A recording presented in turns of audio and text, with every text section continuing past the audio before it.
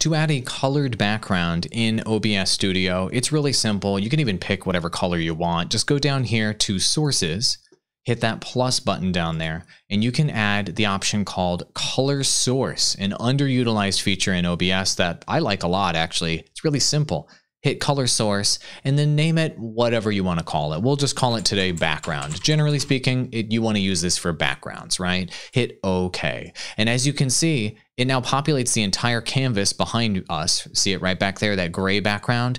It populates it with whatever color you have selected here in this menu.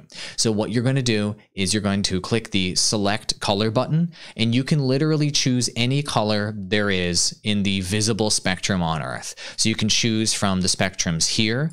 You can pick any color that's on your screen anywhere. I can you can go to another monitor. I'm on my other monitor right now and there's a purple bit over there. Boom, I'll choose that purple on my other monitor. You can even add custom colors with any time that you choose a new color. You can add an HTML, the hue, saturation. You can choose everything you can imagine for your branded colors or any custom colors that you may want to add to OBS. Once you've chosen your color, go ahead and hit OK, and then it'll apply that color to the background.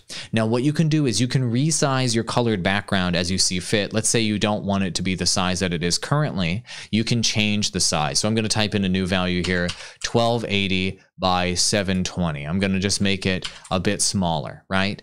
Then once you resize that, it'll automatically resize on your canvas over here. Notice how my color background is no longer visible.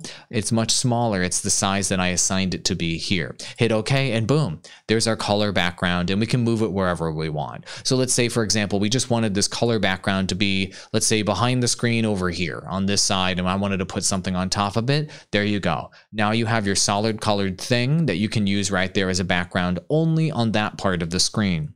If you ever want your color background to cover the entire screen, all you have to do is right click, go down to transform and go to fit to screen. The possibilities are endless. You can also use this to put it as a background behind uh, some sort of text or graphic that you have, make it a darker color so that you can have it be more high contrast and you can more easily see the thing that you're trying to show endless possibilities here, as you can imagine, with color backgrounds. Let your creativity go wild. And if you'd like me to coach you one on one on how to use OBS Studio, how to set up your home studio, do online broadcasting, I've been doing this for a living for the last 10 years, helping creators from zero followers to millions uh, do what they love for a living. Go to awalldigital.com, my website, choose your day, choose your time, and just book me. Enter your name, your challenges, what you're looking to accomplish from a technical standpoint, from a strategic standpoint, and I'll jump on a call with you and help you knock that out to help you become more successful in online broadcasting.